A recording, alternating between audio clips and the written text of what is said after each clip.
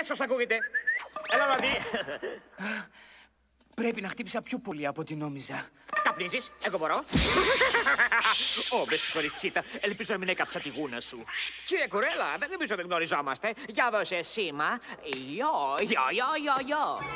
Ξέρεις, εσύ είσαι πιο μπασμένος από το προηγούμενο αφεντικό, εκτός κι αν ψήλωσα.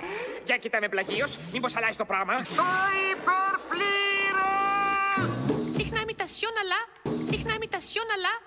Unos, dos, tres. Όχι απομιμήσεις, άλλες συναλλαγές ή επιστροφές. Ότι μπορείς να πραγματοποιήσεις τρεις επιθυμίες μου, έτσι; Ε, σχεδόν. Ε, υπάρχουν κάποιοι κανόνες. ε, Τα, τα, τα τυπικά που λένε. Δεν μπορώ να αναστήσω τους νεκρούς.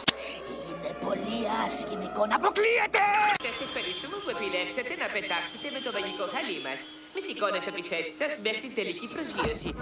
Ε, ευχαριστώ. Γεια σας, γεια σας, το καλό. Bye, bye. Λοιπόν, πώς σου φάνηκε, κύριε Μουσταφά Αμφιβάλλογλου;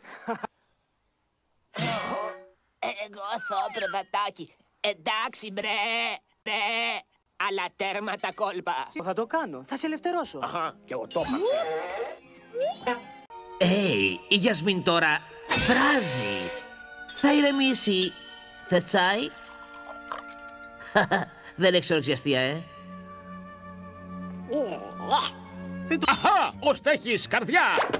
Ίσως μικρούλα, μα καρδιά.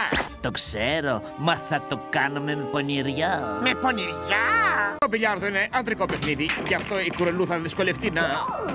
Μπα, ηλίθιο παιχνίδι.